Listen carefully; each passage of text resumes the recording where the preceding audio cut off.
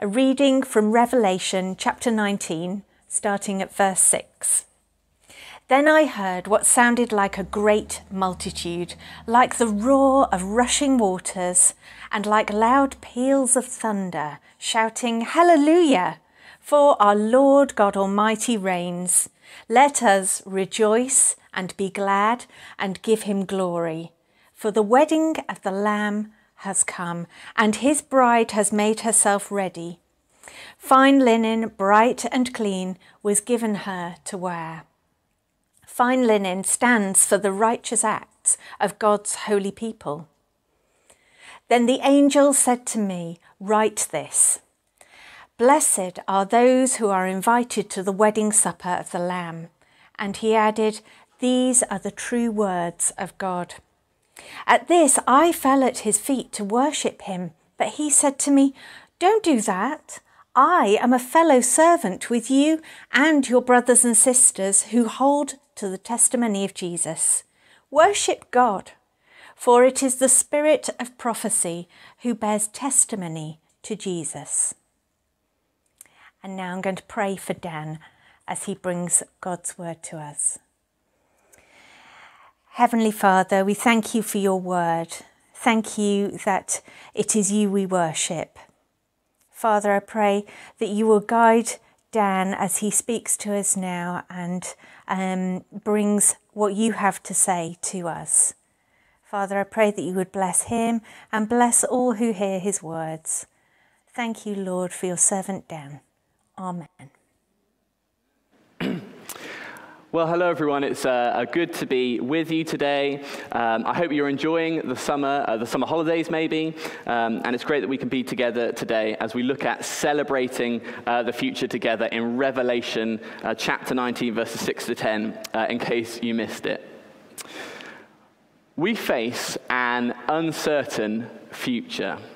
For almost all of us, we have never experienced such a time as these last 18 months, where we've not been sure of what's coming next. Even, that, even though there are now no more rules to follow, I'm sure many of us still feel unsure how, of how much we should be doing, particularly with the numbers still being so high. We hope we're out of the worst of it, but we're not sure, and it's been almost impossible to plan for the future.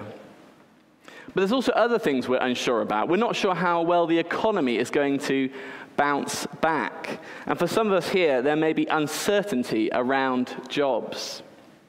But it's not just COVID related uncertainty. We're not sure how the planet is going to fare given the damage we've done. We're not sure how the world will look with the rise of the Taliban again in Afghanistan. Many of us see the moral confusion in our country, and we worry for future generations and how it will affect them. Will they still have the freedom to follow God? Or you might be going through a difficult time personally at the moment, and you don't know what the future holds. Or maybe you're helping someone through who's going through something like that. Well, the early church, at the time the book of Revelation was written, would have been to, able to identify with us in some ways as, the, as they were facing an uncertain future. They were going through some tough times. It had only been a couple of decades since Jesus had risen from the dead and returned to heaven. And in that time, the church had grown at an incredible rate. But alongside that, they were facing increased persecution. They were faced being whipped, imprisoned, beaten, put into exile for their faith. Some were even facing death. And they were also facing false teaching and immorality seeping into the church through those who would do it harm. Even the Apostle John, who wrote this book, was facing an uncertain future. By now, he's an old man and he is in exile on the small Greek island of Patmos for sharing the good news that Jesus is alive. But while he is there, he has a vision of the future, the end of this world and the beginning of the next. And so, as we continue our series looking at feasts, festivals, and family, as we look at the resources God has given us to sustain us and build His church, what has Jesus given us? What does he point the Apostle John and the early church to? And we, what does he point us to if we're facing an uncertain future? Well, he points to an event that is both a feast and a festival. He points to a wedding here in Revelation 19. God loves a wedding. All throughout the Bible, he uses the language of marriages and weddings with his people. When Jesus comes to earth, he continues that theme, referring to brides and bridegrooms and weddings in many of his parables and pictures. He even performed his first miracle at a wedding in Cana. And so there's a special imagery that a wedding gives us that God wants to speak to us through today as we look at the biggest wedding ever at the end of time here in Revelation 19. So, whoever you are, whether you're married, single, young, or old, God wants to use the picture of a wedding to bless and encourage us today. So I wonder what your favorite part of a wedding is. You know, is it the uh, ceremony? Is it the vows that people give? Uh, maybe it's the food, uh, which you're always really hungry for because weddings are a really weird time and they start at lunch, so you're really hungry by the time you eat. Maybe it's the awkward first dance or the very strange ceremony of cutting the cake. A few weeks ago, I had uh, the honor of being best man at my brother's wedding. And so it was my job to make sure uh, that they got married and that they had everything that, that was needed for a wedding. And so that's the lens that we're going to look at this passage through today. What are the essentials you need for a wedding to happen? Well, as you see, you really only need a few things. All you need is a groom, a bride, and you need guests. It's very simple you can tell I was obviously a brilliant best man. But before we look at these things individually, we need to understand some of the imagery being used here in Revelation because it's using lots of wonderful picture language. So, who are the actors in this great love story? Well, firstly, the bride. Throughout the whole Bible, God's people are referred to as his bride. In the Old Testament, that's specifically the people of Israel. But when we get to the New Testament, the, the Old Testament is fully realized, and it is the church, the whole of the church, the Jews and the Gentiles, you and me making up the bride. So the church is the bride in this story, which of course makes the groom Jesus. All throughout his earthly uh, time on earth, Jesus refers to himself as the bridegroom, the loving husband to be who is awaiting his bride. And so that is who we're going to look at first the groom.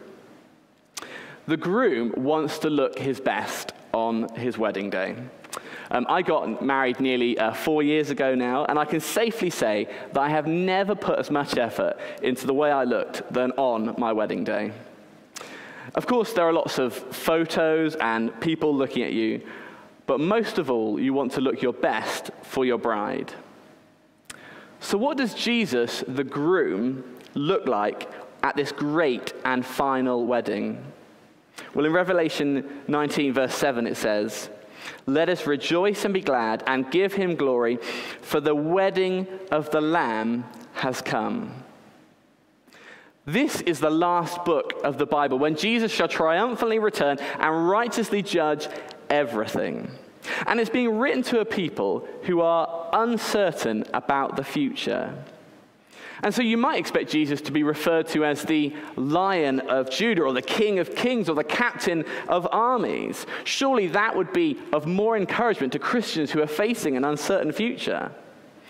And although some of those terms are used throughout Revelation, instead, overwhelmingly, John uses the image of a lamb to describe Jesus in Revelation.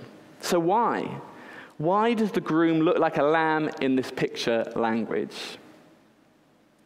Well, on his time on earth, Jesus was known by many titles Messiah, Son of Man, Son of God. But as he begins his earthly ministry, John the Baptist, who Jesus refers to as his best man, says when he sees Jesus, Behold the Lamb of God who takes away the sins of the world.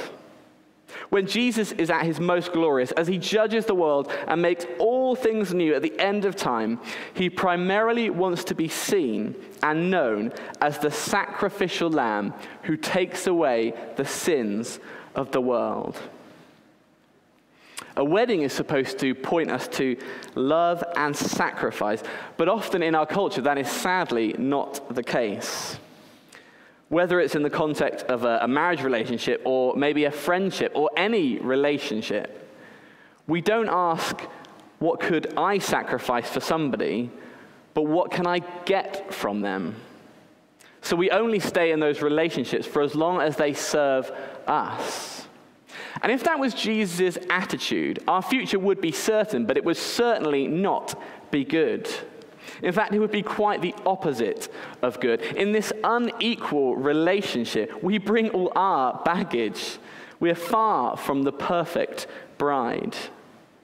Our unfaithfulness, our failings, and our sin, and the chasm that our sin causes between these two lovers, Jesus and his people, is vast. It is almost insurmountable. There would be no wedding without the sacrifice of the land. We would be left destitute with nothing in utter darkness. But Jesus was all about sacrifice. We were reminded that through our Bible overview series again and again. As Abraham is about to sacrifice Isaac, a ram is provided as a sacrifice, pointing to Jesus. As the angel of death sweeps over Egypt in the time of Moses, the Israelites had to uh, paint the blood of a lamb on their doorposts so that death would pass over them. Jesus sacrificed by leaving the Father in heaven and coming to us as a helpless baby. And a few weeks ago, we looked at communion and how Jesus was the Passover lamb for us. The reason Jesus appears as a lamb at this wedding feast in eternity is to celebrate how we get to be at that feast. Long before Revelation, the prophet Isaiah writes about this same wedding feast. On this mountain, the Lord Almighty will prepare a feast of rich foods for all peoples, a banquet of aged wine, the best of meats, and the finest of wines. On this mountain, he will destroy the shroud that enfolds all peoples, the sheet that covers all nations. He will swallow up death forever.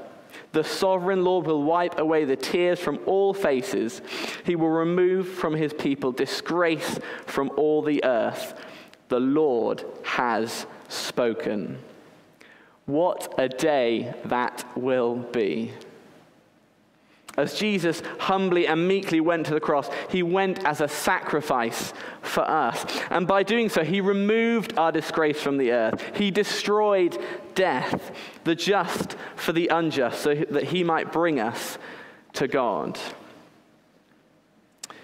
As human beings, uh, we don't live out marriage perfectly. And so this might be a difficult picture for some of us, because some of us may have been part of marriages that have broken down and cause hurt to us and hurt to others. And Jesus knows your pain.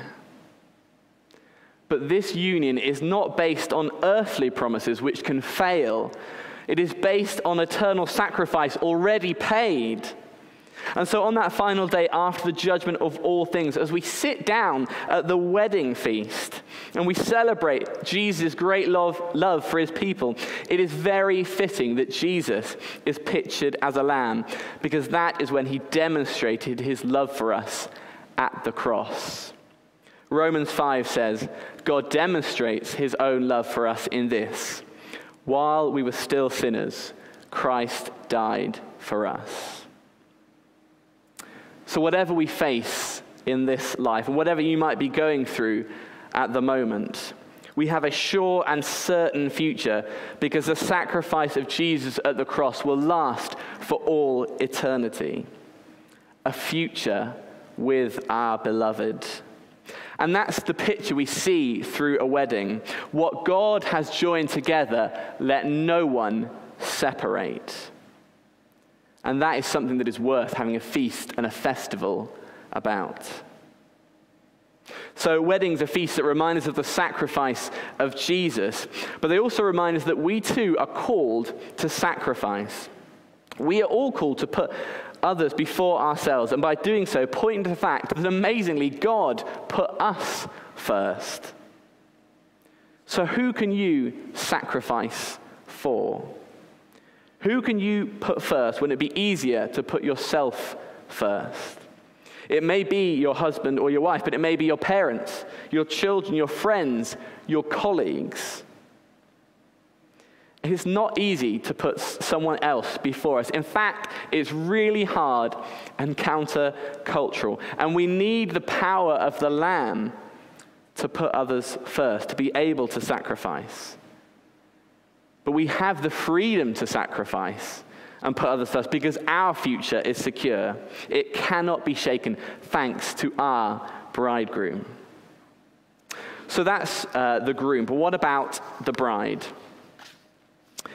Everyone knows that a bride's wedding dress is one of the most important parts of a wedding. I remember uh, if I ever came back to my parents' home after a wedding I'd attended, one of my mum's first questions was, What was the wedding dress like? And a lot of the time, I actually couldn't describe it in great detail, but I was always sure of one thing it was white. Although, actually, I have learned since there are actually a lot of different shades of white, so I was probably wrong even then. But what you wear at a wedding is important. And most of all, it's important for the bride and groom who are looking at their best. And here in Revelation, it's no different, as we've already seen the Lamb. But the clothes of the church, the clothes that the church wears for this wedding are important, and they're described for us in verse 7 and 8. For the wedding of the Lamb has come, and his bride has made herself ready. Fine linen, bright and clean, was given her to wear. The picture we have here is of a radiant bride, spotless and pure. This is the church, God's people.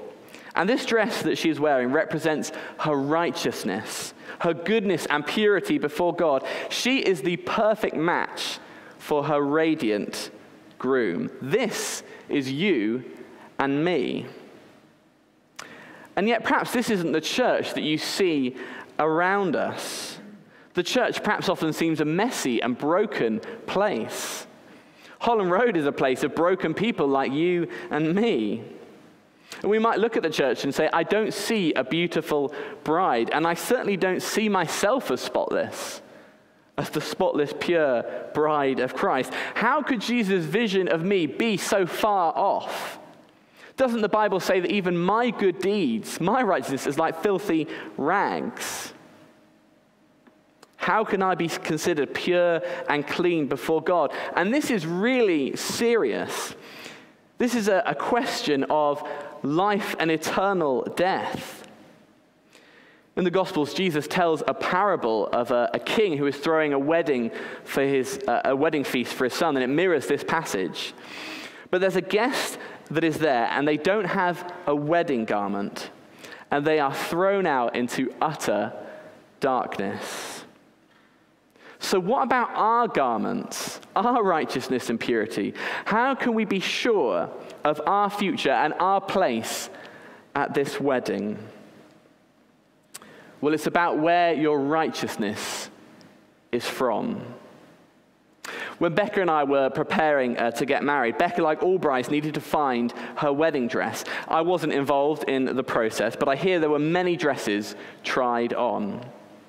And of all the dresses she tried on, there was one that stood out as just being the one, a cut above the rest. But there was a problem. It turns out that wedding dresses can actually be really expensive, and basically, we couldn't afford this dress. But Becca's father came along, and in his generosity, he bought the dress for us outright. We didn't have to pay anything. He paid the price so Becca could be clothed with this wonderful wedding dress, and she looked beautiful. And it's the same with our robes for this wedding. We could never afford these robes of righteousness. We could never be pure and spotless before God through our own power and righteousness and goodness. But those righteous robes have been offered to us, given to us so we can wear them. There are famous verses that are often read at weddings from Ephesians 5. Husbands, love your wives, just as Christ loved the church and gave himself up for her to make her holy, cleansing her by the washing with water through the word, and to present her to himself as a radiant church without stain or wrinkle or any other blemish, but holy and blameless. Not only has Jesus sacrificed for us so that our sins are forgiven, he's done more than that. He has also given us his righteousness, his purity. When two people come together, everything they have becomes shared. So, for us, as we marry Jesus, that means Christ takes on our debts and pays them, and he gives us his righteousness. And so, when Jesus looks at us, his vision is perfect as he sees us clothed in his righteousness. And if you're unsure today about how God sees you, then this is so important. A few years ago, Becca and I went through a real patch of a lot of weddings. We were at the age when a lot of our friends were getting married. Becca was working with students, and they were getting married when they were graduating. And there was one year that we were invited to 12 weddings. We didn't manage to get to all of them, but we got to a fair few of them. And there were some similarities between them. We heard that great passage about love in 1 Corinthians 13 a fair few times. But my favorite moment in pretty much all of them is that moment that the music starts and everyone stands and the bride starts to come in and the groom turns to see his bride and he is overjoyed. We were at a wedding on Friday, and when, when this moment happened, the, the groom just started to, to to tear up. It was wonderful to see. The moment has come. His bride is here, and his face just lights up at seeing her, and it's a precious moment to witness. When Jesus looks at you, when he looks at Holland Road, when he looks at the, at the church around the world, he is the groom who, in that moment, is seeing his bride as if for the first time. Again, Isaiah says in Isaiah 62 As the bridegroom rejoices over the bride, so shall your God rejoice over you. This is how God feels about you. This isn't how Jesus just sees us in the future, it's how he sees you now. Our future is certain because we have been clothed by Jesus' righteousness, and he rejoices over you. So Jesus has given us his righteousness, but that's actually not the only righteousness mentioned here. Verse 8 goes on to say, Fine linen stands for the righteous acts of God's holy people. Once we've been saved and made holy and righteous, God has a mission for his bride, for us, to do the righteous acts, the good works that he has prepared for us. These acts don't determine our beauty in God's eyes, but he is not indifferent to them. He loves them. The church is the only hope for the world, the only hope for Brighton, and it can be radiant.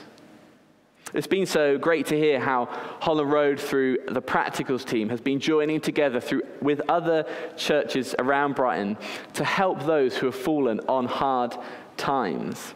And that's just one small example. But Jesus loves it when his bride stands up for truth and goodness and justice. He thinks we are beautiful.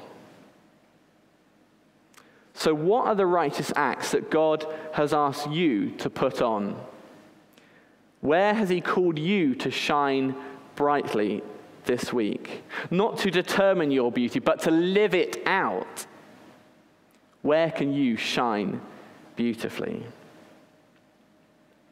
So finally, we come to the guests.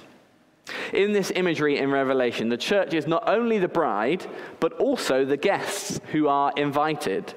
No wedding would be complete without witnesses, and here in Revelation, there are a fair few of them. I'm sure, uh, like uh, me, many of us have been watching the Tokyo Olympic Games over the last few weeks. Uh, I love just sitting down uh, and watching the highlights of everything that had happened. And I don't normally do this, but this year I ended up watching a bit of the closing ceremony.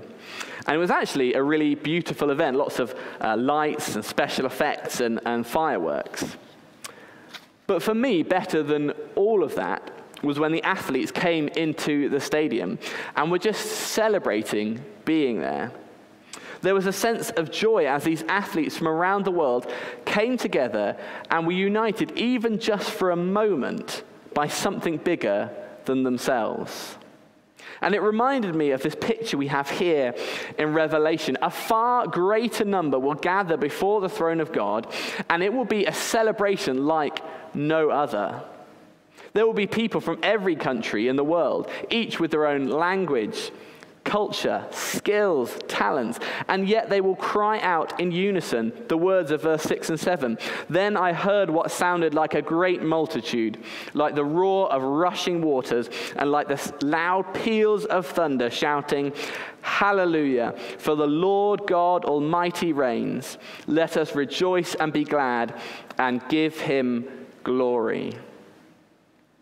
It's such an amazing image that the angel has to reiterate to John these are the true words of God. This is going to happen. And John is so overwhelmed by this incredible vision he sees, he falls down and worships the angel who is showing him this vision. And the angel's like, What are you doing? Worship God, don't worship me. I am a fellow servant. As John looks on at this wedding in the future, his job is the same as the very angels showing him this vision. And it's the same as ours. So, what is the job of the angels? Well, they were messengers of God. As the, as the last verse testifies, as the last verse says, they testified all about Jesus. And the angel tells John, that is your job too. In the midst of an ever changing world, we get to invite people to a sure and certain future. We too become messengers like the angels of the gospel. The good news that Jesus Christ died and rose again to forgive sinners and live with them for all eternity. The future is uncertain. We can't tell people what's ahead for them. We can't even say what's going to happen tomorrow. But we can, with absolute certainty, invite people to this wedding feast of the Lamb.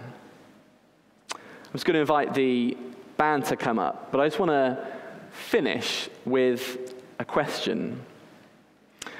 Early, uh, we filled in these little invitation cards, so I wanted to ask Have you accepted this wedding invitation from Jesus to be his bride? Is your name at the wedding feast because Jesus wants you there?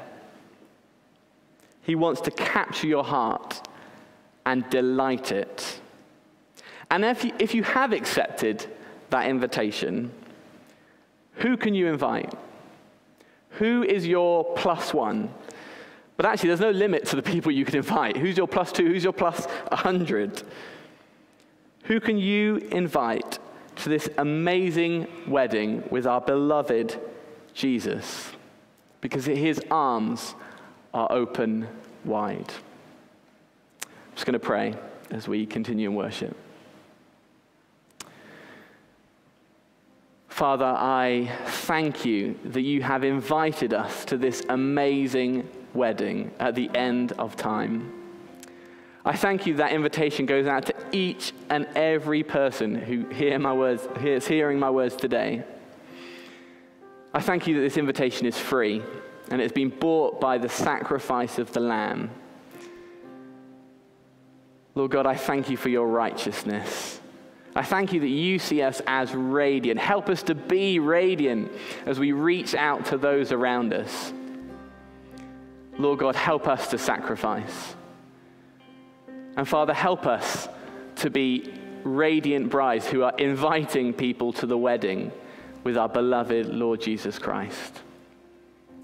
Help us to worship you as we come before you now. Amen.